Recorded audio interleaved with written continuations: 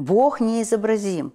На наших старообрядческих иконах он изображается золотым фоном. Свет. Да, это свет.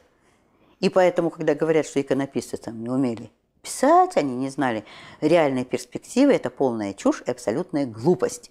Потому что наш мир изображается в реальной перспективе, где есть точка схода на горизонте, и поэтому все сокращается. А тот мир – это мы, точка схода. Он расширяется в бесконечность. И мы увидеть его конца не можем, потому что там свет. А что в этом свете, это нам еще предстоит узнать.